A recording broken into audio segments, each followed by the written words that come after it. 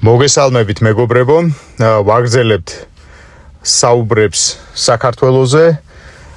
მე წინაკვირას გარკვეული მიზეზების გამო ძალიან მოკლე გადაცემა გამომივიდა, რისთვისაც გიხდით ბოდიშს და დღეს ვაპირებ რომ გამოვასწორო ეს ხარვეზი და ჩავწერო წინაკვირის თემა მისი ასე ვთქვათ სრულყოფილი ვერსიის სახით.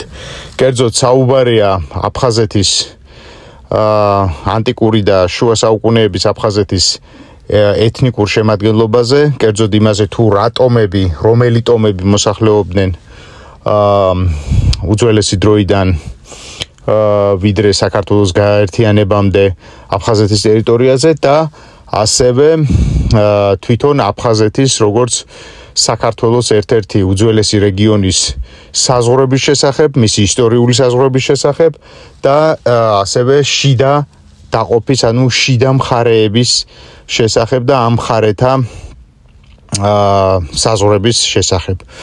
თავიდანვე მინდა გავაკეთო განმარტებები რომ შემდეგ რამე გაუგებრობა არ გამოიწვიოს ჩემმა დღევანდელმა საუბარმა მსმენელში. ესე იგი, რაზე ვსაუბრობ დღეს? დღეს ვსაუბრობთ ისტორიულ აფხაზეთზე. ისტორიული აფხაზეთი ეს არის რეგიონი ჯერ კიდევ ძველი კოლხეთის რეგიონი, შემდეგ რასაკვირველია საქართველოს ერთ-ერთი უძველესი რეგიონი, რომელმაც არსებითი და გადამწყვეტი როლი შეასრულა ჩვენს ისტორიაში. ანუ დღეს ვსაუბრობთ აფხაზეთზე როგორც რეგიონზე და არა როგორც სამეფოზე, აფხაზთა სამეფოზე, რომელიც მოიცავდა მთელი დასავლეთ საქართველოს ტერიტორიას, ანუ ისტორიული კოლხეთის ტერიტორიას. ეს ერთი. აა შემდეგ, რაც შეეხება დროის დროით მონაკვეთს, ანუ რად რომელი ეპოქის, რომელი პერიოდის აფხაზეთ მოკაცრავად აფხაზეთზე გვაქვს საუბარი.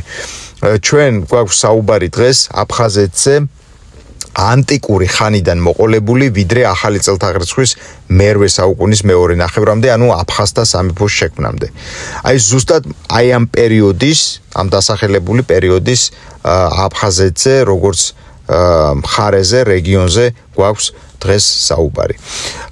ეხლა რა შეეხება აფხაზეთის ტომობრივ შემადგენლობას, რაც ჩემი აზრით ერთ-ერთი ყველაზე უფრო მნიშვნელოვანი საკითხია დღევანდელი ჩვენი გადაცემის. იმიტომ რომ ამის თაობაზე როგორ წესი არ აქვს ჩვენს საზოგადოებას, ჩვენს ხალხს სრულყოფილი და დეტალური ინფორმაცია.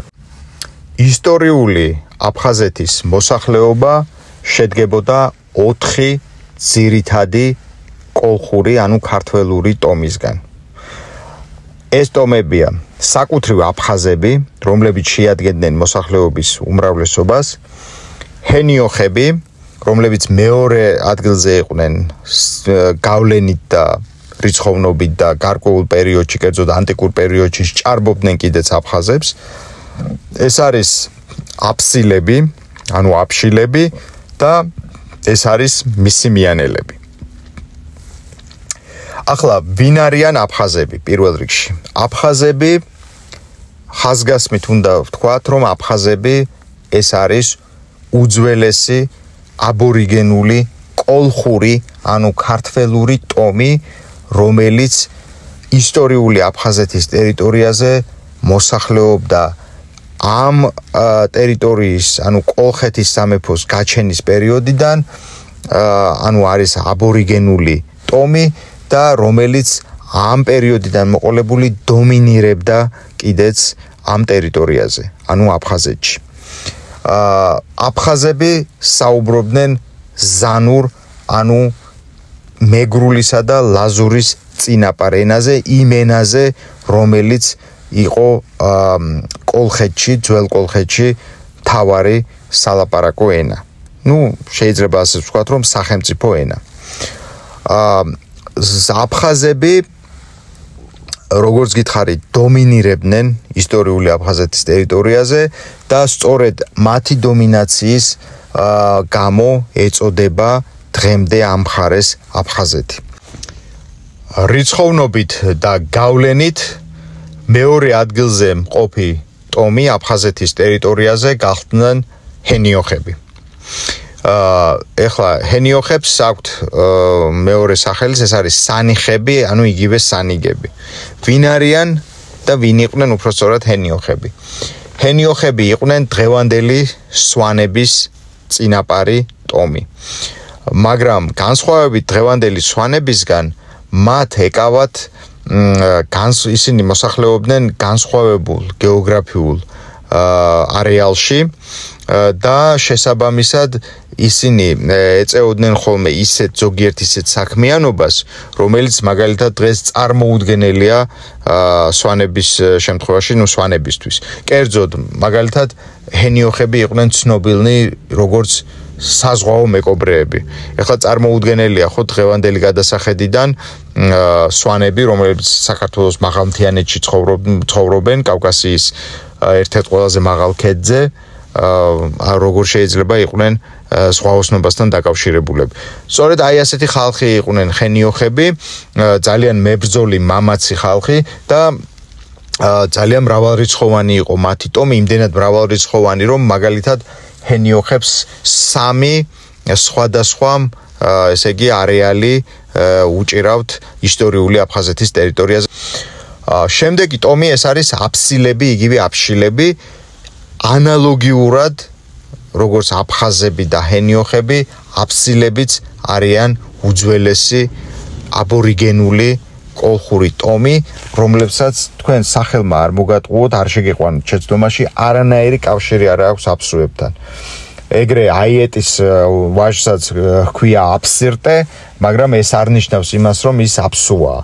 ამ აბსურდულ, სხვათა შორის ძალიან აბსურდულ აზრს ავითარებენ აფხაზები დღეს და ისინი ამტკიცებენ, რომ ესე იგი კოლხეთი, ეს ისტორიული კოლხეთი და ის ლეგენდარული კოლხეთი, ანუ აიეტის კოლხეთი, ეს არის აბსუების მიწა და რომ აიეტი, მედეა, აბსირტე, კირკე, ეს ყველანი ესენი იყვნენ აბსუები. აი ამ აბსურდამდე მივედით საბოლოო ჯამში აბსურდების გადამკიდე. მაგრამ ეს ასე არ არის მეგობრებო, სიტყვა არ შეგიყვანოთ შეცდომაში, აფსილები, იგივე აფშილები არის როგორც მოგახსენეთ უძველესი კოლხური ტომი და ისევე როგორც ჰენიოხები, როგორც აფხაზები ანტიკურ პერიოდში ისინი საუბრობდნენ ზანურ, ანუ კოლხეთის, ძველი კოლხეთის ენაზე.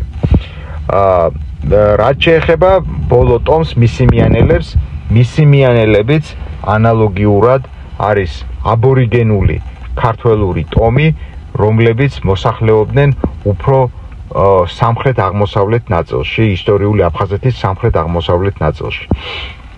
აა ეს ხალხი აი ეს 4 ტომი იყო ისტორიული აფხაზეთის ძირითადი მოსახლეობა, ანუ ძირითადი მისი მოსახლეობის ძირითადი შემადგენელი ტომები იყვნენ ეს 4 ტომი. მაგრამ ეს არ ნიშნავს იმას, რომ მაგალითად მაკრონები, ანუ მეგრელების წინაპრები, აა თვითონ ქართებიც კი, გარკვეული ნაწილი ქართების და ასევე სხვა სხვა ქართველური ტომები, რომ არ მოსახლეობდნენ აფხაზეთის ტერიტორიაზე. მეგობრებო, მოსახლეობდნენ, ცხოვრობდნენ, აა მაგრამ როგორც გითხარით, ძირითადი ტომები, ანუ ძირითადი მოსახლეობის ძირითად მასას შეადგენდა შეადგენდა ეს 4 ტომი, რომელიც დაგისახელეთ. ეხლა რა ვინ არიან მაგალითად დღეს შეგვიძლია თუ არა იდენტიფიცირება გავაკეთოთ მაგალითად ჰენიოხები გასაგებია სვანების წინაპრები არიან მაგრამ ვინ არიან მაგალითად დღეს მისიმიანელები ვინ არიან დღეს მაგალითად აფსილები და ვინ არიან საკუთრივ აფხაზები ამის თქმა ძალიან გაგვიჭirdება. ამის თქმა პრაქტიკულად შეიძლება ითქვას, რომ დღეს შეუძლებელია განსაკუთრებით აფხაზების შემთხვევაში თუ არიან და არსებობენ თუ არა აფხაზები, მე მოგახსენებ უბრალოდ ჩემს აზრს, ჩემს პირად აზრს, რომ ჩემი აზრით ისეთი გვარები, როგორიცაა შარვაშიძეები, როგორიც არის მაგალითად გებუაძეები და ასე შემდეგ და ასე შემდეგ იგივე მარღანიები, მარშანიები და ასე შემდეგ, რომლებიც წარმოადგენდნენ ძველ აფხაზურ არისტოკრატიას, ეს ხალხი ჩემი აზრით არის იმ ისტორიული აფხაზების შთამომავალი ხალხი. ესენი არიან იმ ნამდვილი აფხაზების შთამომავლები. რა თქმა უნდა, მხოლოდ არისტოკრატიულ გვარებს არ არ ვუსვამ ხალხს, აქ არის ნებისმიერი სხვა გვარიც შეიძლება იყოს, რა თქმა უნდა, ამ გვარების აბსოლუტურ უმრავლესობას აქვს მეგრული დაბოლოებები და ეს სრულიად ბუნებრივია, მაგრამ ეს არნიშნავს იმას, რომ მაინც და მაინც ესა თუ ის მეგრული დაბოლოების მქონე გვარი არის მეგრელი, ისინი შეიძლება იყვნენ აფხაზებიც. კონკრეტული გვარები ვიცი გამიგია, მაგრამ დასახელებისგან მაინც თავ შევიკავებ, იმიტომ რომ როგორც გითხარით, ნუ ეს ჩემი აზრია, ასე ვთქვათ და მე არ ვარ ამაში საბოლოოდ ბოლომდე დარწმუნებული.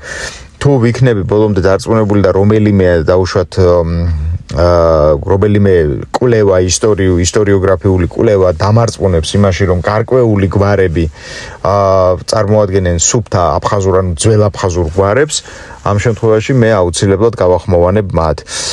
თუ გაქვთ ვინმეს ინფორმაცია კონკრეტულად შეიძლება თქვენი გვარის შესახებ, ასევე სხვა გვარების შესახებ, რომ ეს გვარები არის ნამდვილად აფხაზური და არა დაუშვათ მეგრული გვარები, დიდი სიამოვნებით კი ბატონო დაწერეთ კომენტარებში ნახოს საზოგადოებამ გაიგონ ხებმაც ძალიან კარგი იქნება.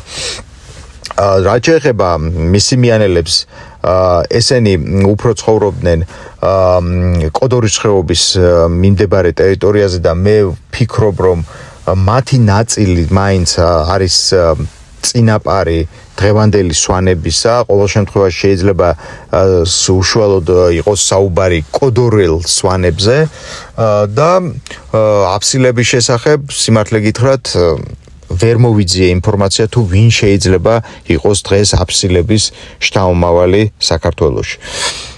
ეს რაც შეეხება ტომებს და კიდევ ერთხელ ვიმეორებ, რომ მეგრელებიც და სხვა ტომები თვით ქართის ტომებიც კი ქართებიც კი მოსახლეობდნენ აფხაზეთის ტერიტორიაზე, მაგრამ რა თქმა უნდა, მათი რიცხოვნობა და რაოდენობა არ იყო ისე ისეთი დიდი და მოცულობითი, როგორც ამ 4 ტომის.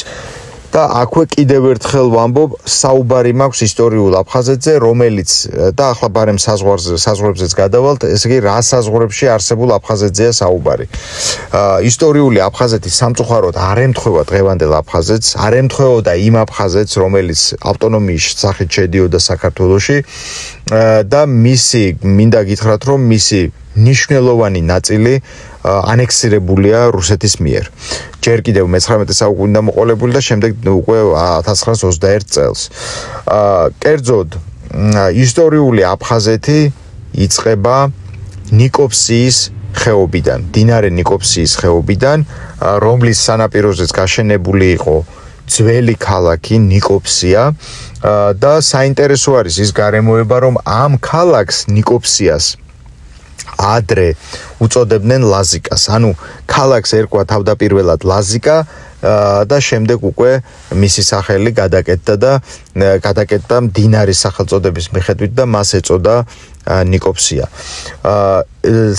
ის რომ ამ ქალაქს მისი თავდაპირველი სახელი იყო ლაზიკა ეს აშკარად მიუთითებს მის კოლხურ წარმოშობაზე იმაზე რომ ეს ქალაქი ოდიდგანვე ოდიდგანვე ძველი კოლხეთის სამეფოდან მოყოლებული წარმოადგენდა საქართველოს უკიდურეს ჩრდილო დასავლეთ წერტილს. ანუ იმ წერტილს საიდანაც იწყებოდა საქართველოს, საიდანაც იწყებოდა ძველი კოლხეთი. აა ნიკოფსიიდან ისტორიული აფხაზეთი აა სამხრეთით თავდება, სამხრეთ აღმოსავლეთით აა თავდება აა კელასურის კედელთან. ნუ ამასთან დაკავშირებით არსებობს სხვადასხვა ორი ძირითადი მოსაზრება, უბრალოდ ორი ძირითადი წყაროა, ერთი არის ესე იგი ბერძნულ ბიზანტიური წყაროები, რომლებიც აცხადებენ, რომ ესე იგი საზღვარი ისტორიული აფხაზეთის საზღვარი სამხრეთ და აღმოსავლეთით სრულდება ქალაქ დიოსკურიასთან, ანუ დღევანდელ სოხუმთან, ხოლო ქართული წყაროები, ძველი ქართული წყაროები იუწყებიან, რომ ეს უკიდურესი, ასე ვთქვათ, სამხრეთ-აღმოსავლეთის საზღვარი გადიოდა დინარე კელასურზე, სადაც არსებობს დღემდე არის შემორჩენილი ცნობილი კელასურის კედელი, ანუ კელასურის დამცავი ზღუდე. აა ამიტომაც ამიტომაც კიდევ ერთხელ ვიმეორებ, სრულიად არ არის გასაკვირი და გასაოცარი, რომ მაგალითად მეგრელების რაოდენობა ანტიკური პერიოდში, იმ ადრეულ შუა საუკუნეებში აფხაზეთის ტერიტორიაზე არ ყოფილიყო იმ რაოდენობით, როგორც დაუშვათ შემდეგ უკვე მოგვიანებით, როგორც მოგვიანებით იყო წარმოქმნილი.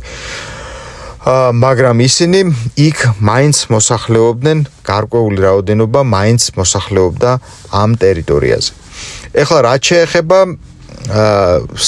საზღვრებს, რომ კიდევ ერთხელ რომ განსაზღვროთ, თლიანად ანუ ანტიკური და შუა საუკუნეების, ანუ მერვე საუკუნემდე აფხაზეთის როგორც ერთ-ერთი უძველესი ქართული რეგიონის ტერიტორია, ეს არის ტერიტორია, რომელიც რომელსაც რომელიც ჩრდილო-დასავლეთიდან, ესე იგი ნიკოფსიის ხეობიდან იწყება, სადაც ქალაქი ნიკოფსიაა გაშენებული და მთავრდება, ну, მინიმუმ ქალაქ სოხუმთან მაინც, მაქსიმუმ ქართული წყაროების მიხედვით მდინარე კელასურთან. ხო, ჩრდილოეთით რასაკვირველია მას ესე იგი ესაზღვრება კავკასიონის ქედი, ხოლო აქეთ უკვე დასავლეთით სამხრეთით მას ეს სამხრეთ-დასავლეთით ესაზღვრება სამხრეთ აღმოსავლეთით ესაზღვრება შავი ზღვა. აი ამ ტერიტორიაში, აი ამ ტერიტორიაში შიგნით ამ თვითონ რეგიონში, ამ აფხაზეთში არსებობს შიდა მხარეები. უпростоრად ისტორიულად არსებობდა შიდა მხარეები. და ეს შიდა მხარეები ძირითადად ძირითადად ესე იგი დაყოფილი იყო სწორედ ტომობრივი ნიშნით. ანუ იმ ტომების მიხედვით, რომელი ტომებიც მოსახლეობდნენ აფხაზეთის ტერიტორიაზე. აა კერძოდ დავიწყოთ ყველაზე ჩრდილო-დასავლეთ უკიდურესი წერტილიდან, რომ დავიწყოთ მაგალითად ნიკოფსიიდან, აა ნიკოფსიის ხეობიდან დღევანდელი დაახლოებით დღევანდელი სოჭის ტერიტორიამდე, აი ეს არეალი მთლიანად ეკავათ ჰენიოხებს. ანუ ჰენიოხები იყვნენ ის ხალხი, რომლებიც აა ცხოვრობდნენ კოლხეთის და შემდეგ უკვე საქართველოს უკიდურეს აა უკიდურეს აა ესე იგი სასაზღვრო რაიონში. აა ტერიტორია იმდენად ბევრი იყო ჰენიოხები, რომ მათ ესე იგი ჰენიოხეთი დაყოფილია სამ ნაწილად. არსებობდა ესე იგი ჩრდილო ჩრდილო ჰენიოხეთი, რომელიც უშუალოდ უშუალოდ ნიკოფსიის ხეობიდან იწყებოდა. აა არსებობდა შუა ჰენიოხეთი და არსებობდა სამხრეთი ჰენიოხეთი. აა შემდეგ ესე იგი შემდეგი რეგიონი ეს იყო აა ძირითადი ანუ მთიანი აფხაზეთი რომელიც ანუ უფრო სამხრეთით იყო ანუ ესაზღვრებოდა სამხრეთ აღმოსავლეთის მხრიდან სამხრეთ ჰენიოხეთს. აა შემდეგ ეს იყო ესე იგი აფსილეთი. აა შემდეგ ეს იყო მისიმიანეთი. აა და ბოლოს ესე იგი ჩვენ გვქონდა მეორე ესე იგი სხვისპირა აფხაზეთი. ეს მეორე ესე იგი შიდა მხარე სხვისპირა აფხაზეთი და სულ ბოლო ეს იყო აფხაზეთსა და ძველი ოდიშის ანუ ოდიშის სამთავრომდე არსებული ოდიშის საერისთავოს საერთო რაღაც დაახლოებით ბუფერული ზონასავით ბუფერული ზონის მსგავსი საერთო არეალი, რომელსაც ძველ ქართულ წყაროებში უწოდებენ აფხაზეთის შუა ქვეყანას, ანუ შუა სოფელს. აა კიდევ ერთხელ უფრო ესე გასაგები რომ იყოს რა რა არის შუა სოფელი, რა იყო ეს შუა სოფელი, ანუ შუა ქვეყანა. ეს შუა ქვეყანა არის სამურზაყანოს მხარე. ახლა ჰენიოხებზე ვილაპარაკეთ, ანუ ჰენიოხები ეს არიან ესე იგი მოსაზღვრე რაიონში, საქართველოს სასაზღვრო რაიონში მცხოვრები ხალხი, შემდეგ მთიანი აფხაზეთი და სხვისპირა აფხაზეთი, სადაც მოსახლეობდნენ, რა თქმა უნდა, აფხაზ აფხაზ აფხაზი ტომი იყო, სადაც ყველაზე მეტად წარმოდგენილი, შემდეგ აფსილეთის, ანუ იგივე ძველი კორახეთი, სადაც წარმოდგენილები იყვნენ აფსილები და მისიმიანეთი იგივე ძველი კოლაეთი, სადაც მისიმიანელები ცხოვრობდნენ. რა თქმა უნდა, შუა სოფელში იყო შერეული მოსახლეობა, ის ზუსტად სწორედაც რომ შუა სოფელში მოსახლეობდნენ მაკრონები, ანუ იგივე მეგრელები, აფხაზები, მისიმიანელები, აფსილები, აი ეს აი ეს ტომები, ესე იგი, ძირითადად აი ეს ტომები მოსახლეობდნენ სწორედ შუა სოფლის ტერიტორიაზე. ესე იგი, რა შეეხება ეხლა აუცილებლად ჩვენ მოგვიწევს შეხება ჯიქებთან. იმიტომ რომ როდესაც საუბრობთ ისტორიულ აფხაზეთზე, ჩვენ ჩვენ უბრალოდ გვერდსვერაული ჯიქების თემას, ეს არის ძალიან ჩვენთვის ქართველებისთვის ძალიან სამწუხარო თემა, სამწუხარო ისტორია, რომლის პარალელს რომლის ასევე სამწუხარო პარალელს ჩვენ ადვილად ვიპოვით ჩვენს თანამედროვე, ანუ უახლეს ისტორიაში. ესე იგი რა მოხდა?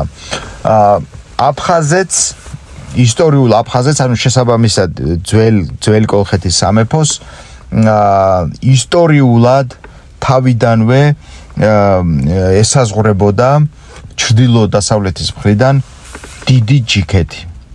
დიდი ჯიქეთი ეს არის, ესე იგი ჯიქები არიან ჩრდილო-კავკასიური ტომი, რომლებიც მოსახლეობდნენ შავი ზღვისპირა, აი ჩრდილოეთ შავი ზღვისპირეთში და შესაბამისად ისინი შედიოდნენ ხაზართა სამეფოს შემადგენლობაში ძალიან დიდი ხნის მანძილზე. და დიდ ჯიქეთს კოლხეთისგან, ანუ ამ კონკრეტულ შემთხვევაში აფხაზეთისგან ყოფდა სწორედ ჩვენს მიერ ბევრჯერ ნახსენები მდინარე ნიკოფსიის ხეობა. ანუ მდინარე ნიკოფსიის ხეობის გამოღმა მოსახლეობდნენ კოლხები შესაბამისად, ანუ კონკრეტულად უშუალოდ ჰენიოხები, გაღმა მოსახლეობდნენ ჯიქები. ანუ გამოღმა იყო აფხაზეთი, გაღმა იყო დიდი ჯიქეთი. ახლა რა მოხდა? კოლხეთის სამეფოს სავალალოდ საუბედუროდ დასუსტების გამო თანდათანობით საუკუნეების განმავლობაში ჯიქებმა დაიწყეს სამხრეთ აღმოსავლეთით ექსპანსია. ანუ დაიწყეს ჩვენი ქართველური მიწების ამ აფხაზეთის კონკრეტულად, აფხაზეთის და კიდევ უფრო კონკრეტულად ჰენიოხეთის დაპყრობა.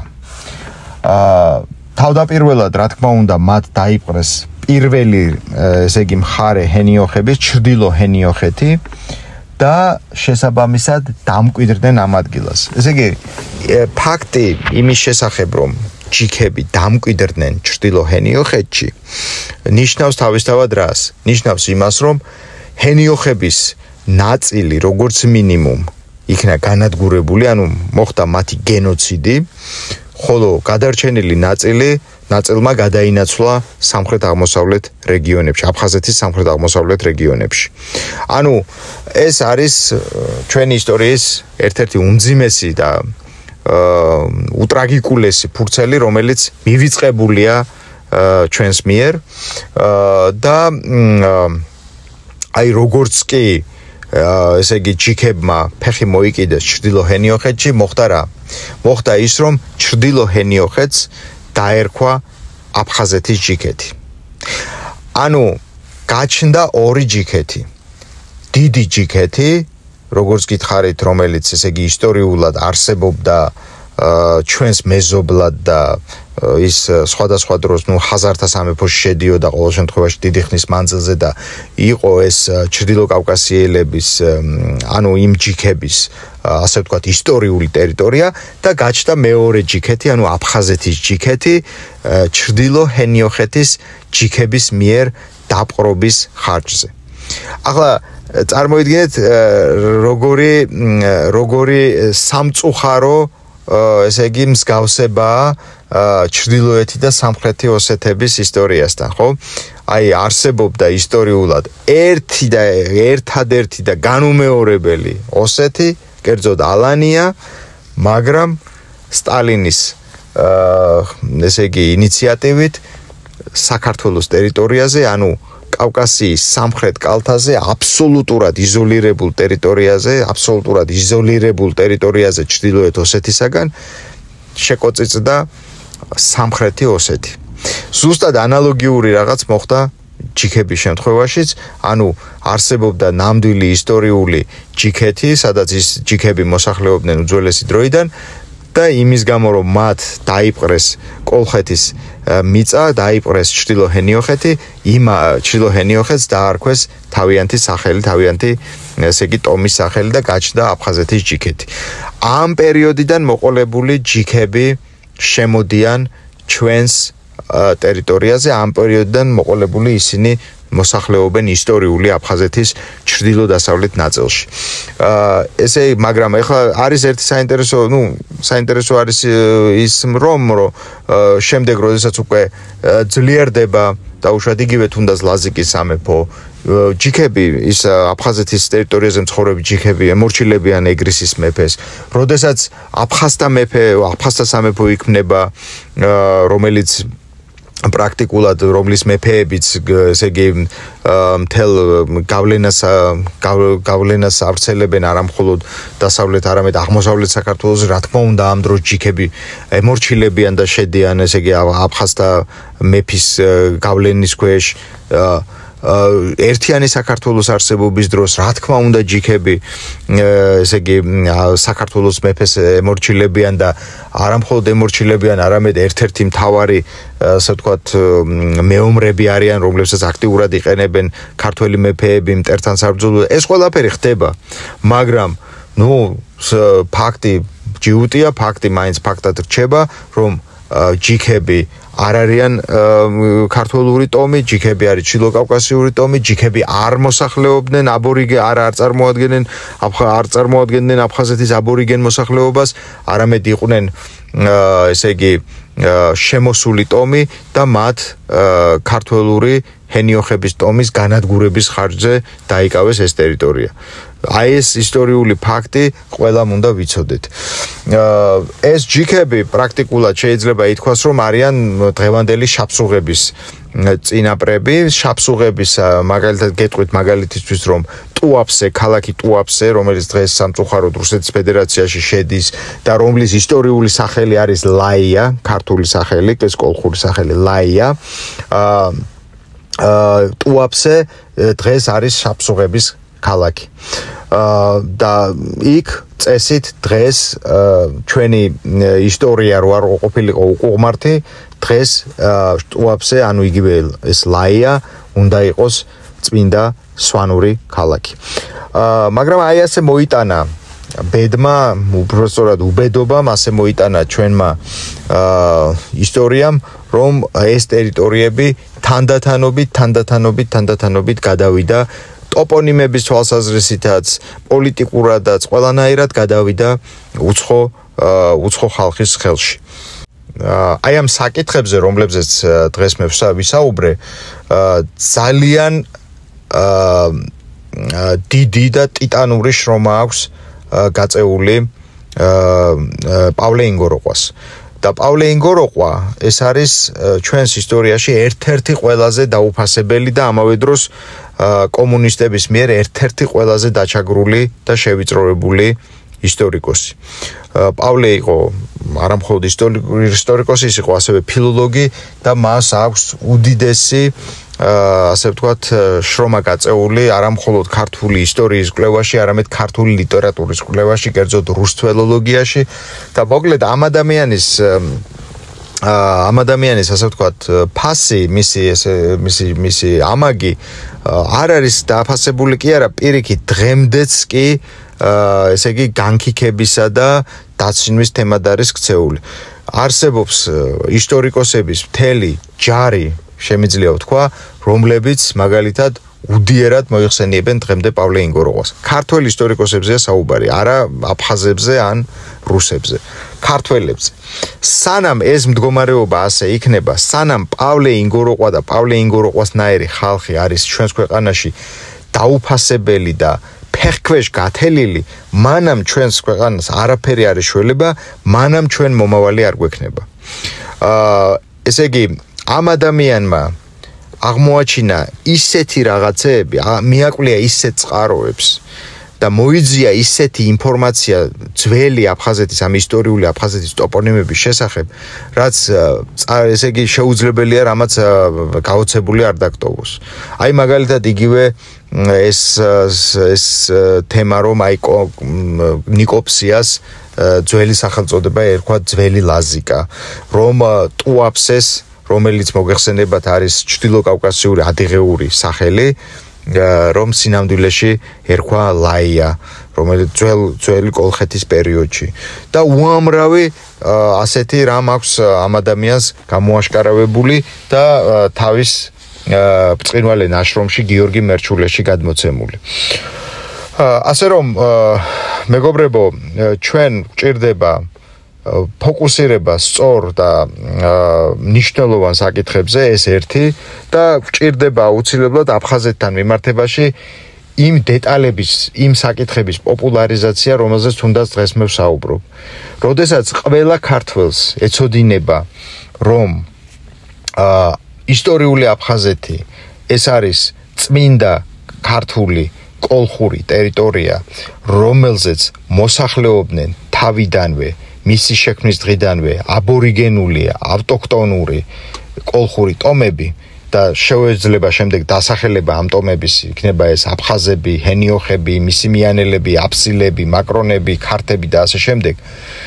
და როდესაც მას ეცოდინება რომ ტოპონიმები, რომლებიც დღეს მასიურად არის გადაკეთებული და ან ჩრდილოკავკასიური წარმოშობის არის, ან კონკრეტულად აფსუური წარმოშობის არის, ან რუსული წარმოშობის არის, რომ სინამდვილეში ყველა ამ ტოპონიმს, ტოპონიმის უკან დგას ნამდვილი, ავთენტური, ესე იგი, ქართული ტოპონიმები, რომლებიც მათ ერქვათ წარსულში და შემდეგ ბედის უკუღმართობის გამო იქნენ მიჭკმალული როდესაც ჩვენ ყველა ქართველს, ყველა ადამიანს ეცოდინება, რომ აფხაზი ეს არის უძველესი კოლხური, ანუ ქართველური ტომი, რომლებიც რომლებიც დომინირებდნენ აფხაზეთის ტერიტორიაზე და ამის გამო ხია აფხაზეთი და რომ აფხაზები რომ თანამედროვე აფსუები არიან ჩრდილოკავკასიური ადიღეური წარმოშობის ტომი და არაფერი საერთო არ აქვს ისტორიულ აფხაზებთან და ისტორიულ აფხაზეთთან.